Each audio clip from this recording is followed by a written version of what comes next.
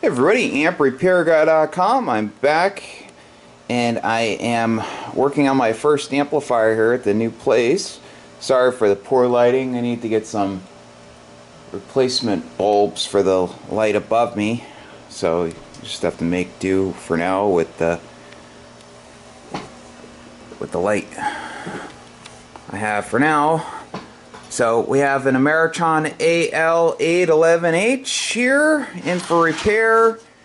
Grids are not grounded, so I'm going to take this whole assembly out, ground the grids, check the SO239 connectors.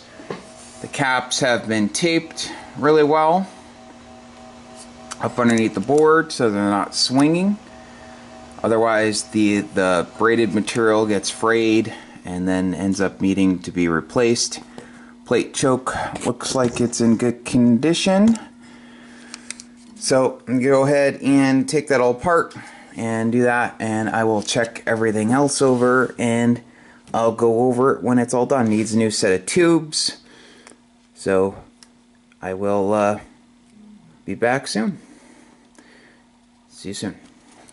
Okay, so I have the socket assembly out. I'm going to remove all of this, ground the grids directly.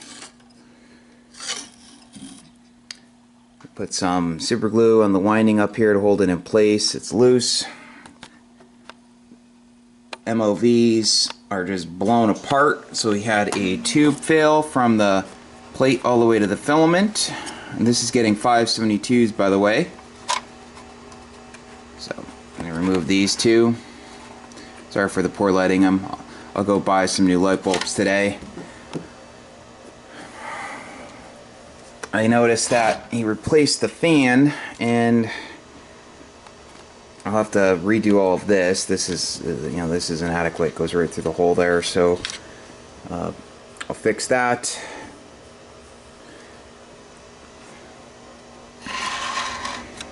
Uh,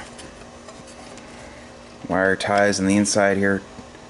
Wire nuts, I should say. I'm sorry. On the inside here also. So I'm gonna get to work and I'll be back. See you soon. Okay, so I directly grounded each grid pin. Once again, there's only one active grid pin per socket.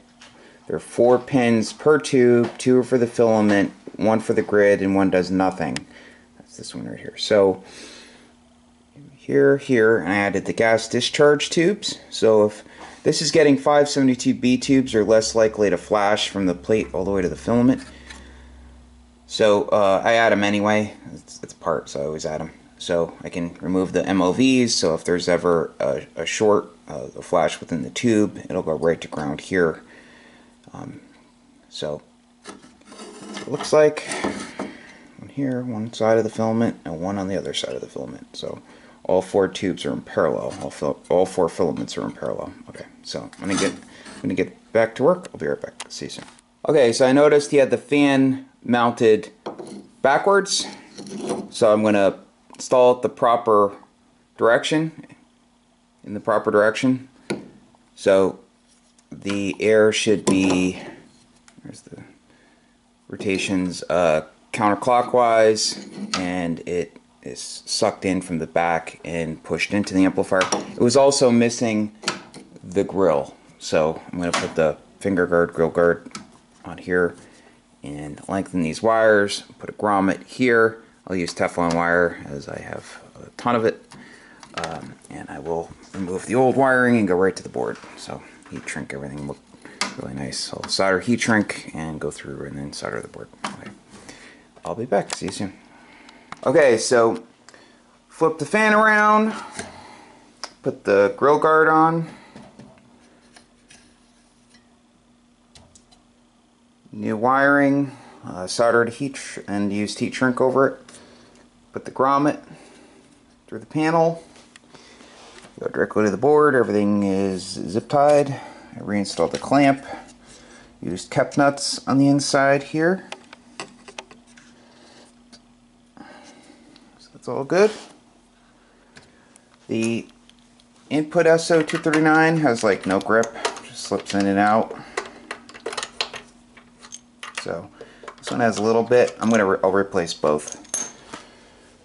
So I'm to do the bias mod and then reinstall the socket assembly. So I'll be back. See you soon. Okay, I'm back with the completed Ameritron AL811H. Here are the old parts. Grid assemblies, grid loading resistor assemblies. I took the wire nuts out. It had 20 amp fuses in it. That's not good. Uh, it's wired for 120, so it requires 12 amp fast blow fuses. I ended up re replacing the straps. They were frayed a bit, some of them, so replaced those. Took out the blown up MOVs. These aren't needed when you put in the gas discharge tubes. Placed the meter protection diode. So that's that. So, so the new straps. Some super glue on the top winding to hold it in place. Resoldered the plate blocking capacitors, the board over here, made sure the shaft was aligned properly between the output rotary switch, you know, the band switch and the input rotary switch. Always make sure to re-secure the safety choke. I put a solder tab in there. They uh, solder to one of these, so I replace it with a solder tab. That protects you if you ever have a plate blocking cap fail, stops the DC from being able to go out to your antenna or here, you know, basically on your output SO239. So replace the SO239s with Teflon, new Teflon SO239s. So those are good. All the screws are nice and tight for the standoffs. You want a really good connection between, between the grid and the chassis, so you want all of those nice and tight on the top side and the bottom side. The bias modification the voltage divider back to the center tap of the filament the fan guard on like I showed before. Clean the rotary switches with the DeoxIT Gold. Resoldered the connection to the base of the plate choke. I added a longer screw. They always use a really short screw and a lot of times during shipping because it's only catching a couple threads of the ceramic a lot of times the ceramic will break so I put a, a longer screw in and uh, I just want to make sure that screws nice and tight over here. So uh, that's about it.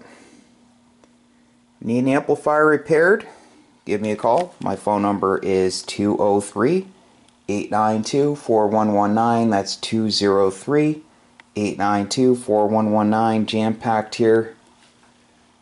More amps are showing up. There's one in the box down there, one up there, one down there. So Getting these in and out.